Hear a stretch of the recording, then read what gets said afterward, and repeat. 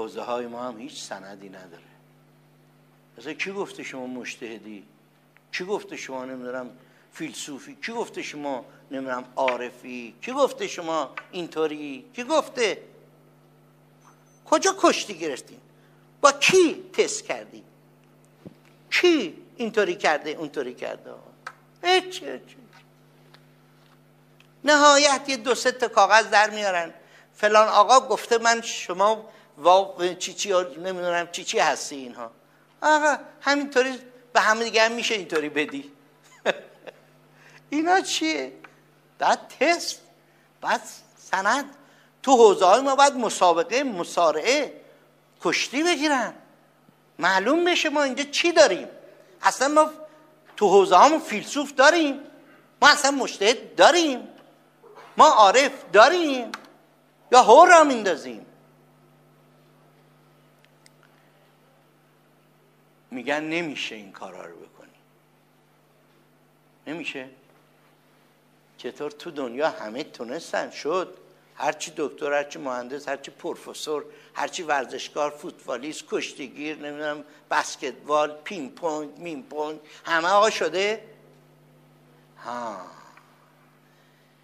یا آقا این کارو بکنه وقت یه مشتی از رده خارج میشن که اینا رب العالمینن. آه. آه پس اینا نمی‌ذارن.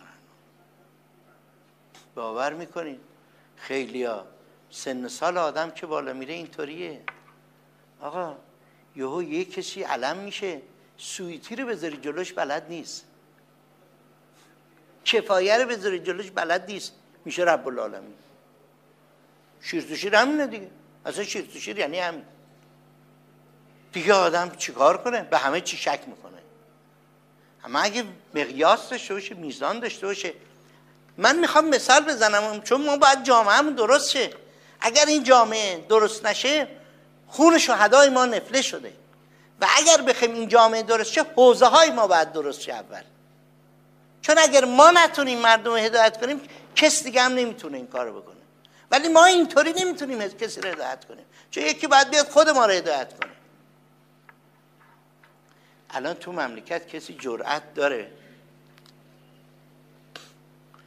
مثلا من مثال می‌زنم از باب اینکه همه می‌شناسید.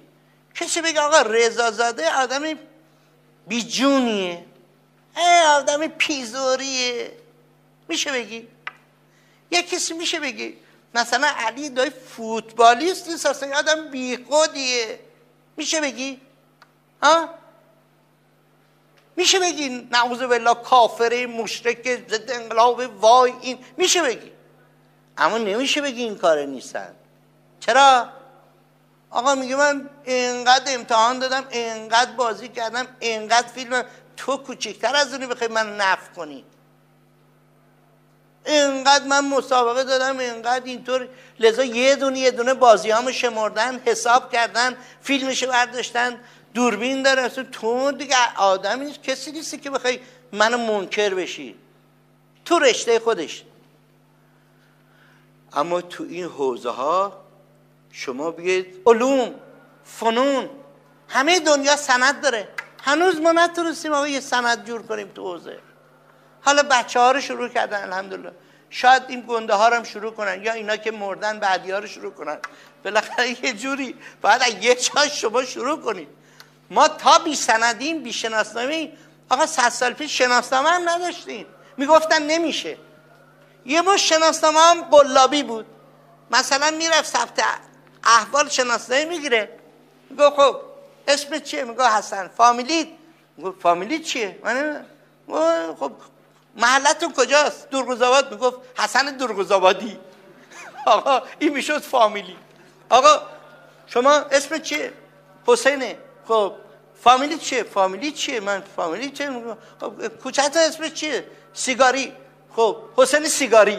آقا بسیاری از فامیلی هایی که ما الان تو کشور داریم اینا درست نیست علمی نیست.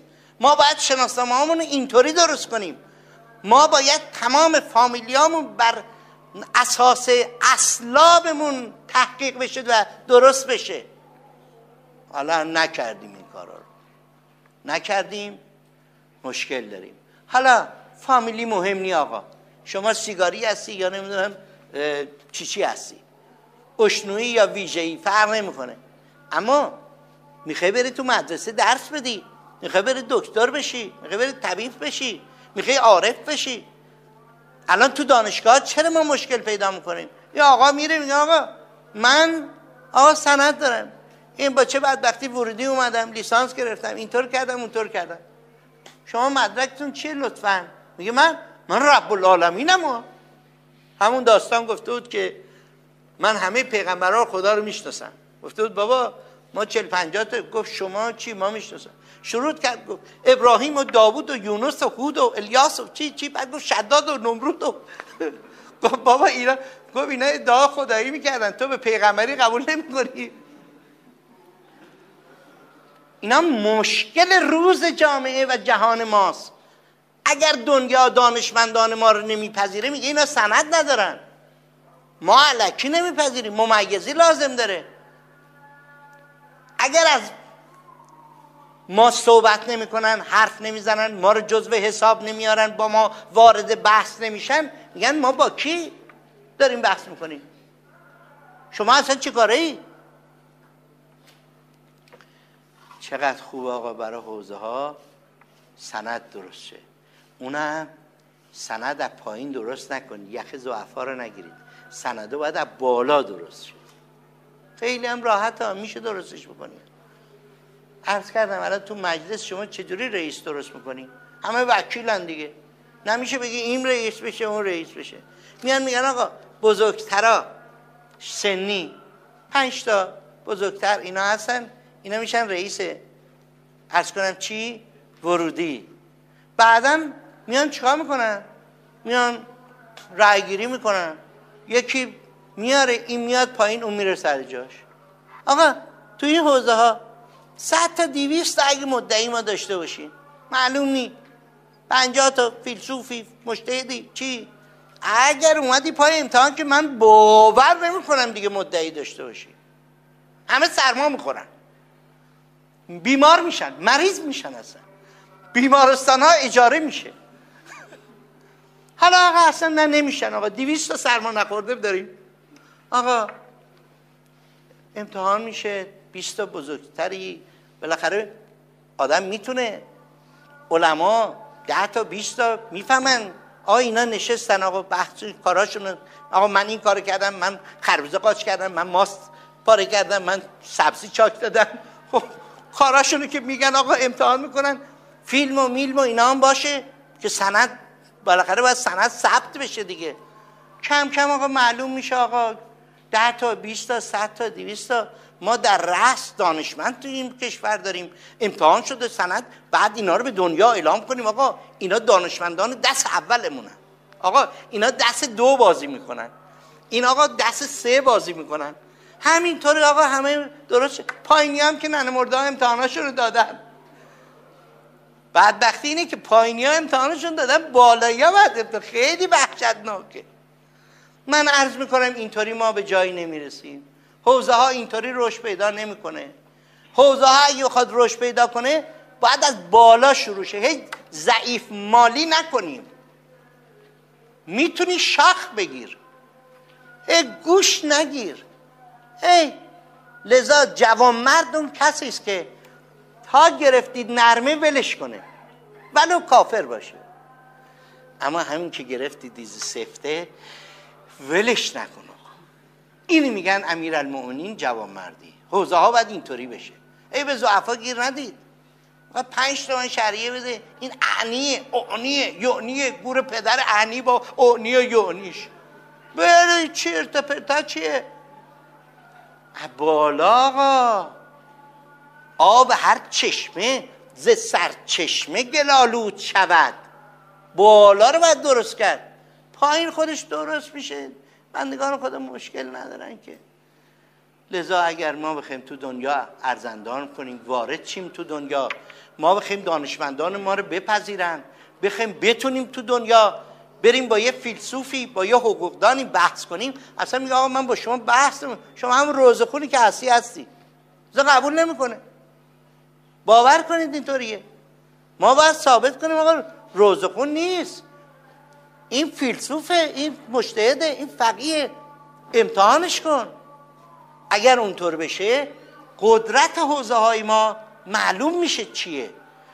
ولی الان مثل یه هندونه در بسته است. آقا می‌زنی؟ سیفیده.